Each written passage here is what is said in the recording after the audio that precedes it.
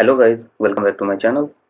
In this video we are talking about how to delete my business profile from google maps okay? Log in to your uh, gmail account and go to google maps. After that search your business okay? After searching click on your business.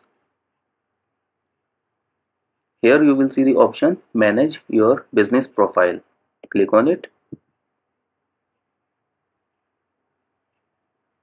And then click on these three dots. After that click on business profile settings. From this window select remove business profile.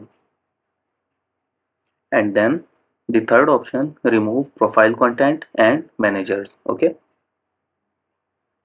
Scroll down you can also mark your business as permanently closed okay? You can uh, turn it off or turn it on. I'm going to turn it off. After that click on continue. Here you will see the option remove content and managers from this business profile. Click on remove. So business profile content and managers removed successfully this is the easiest way I know how to remove business profile from Google Maps. If you know any other better way, please write down in comment section below.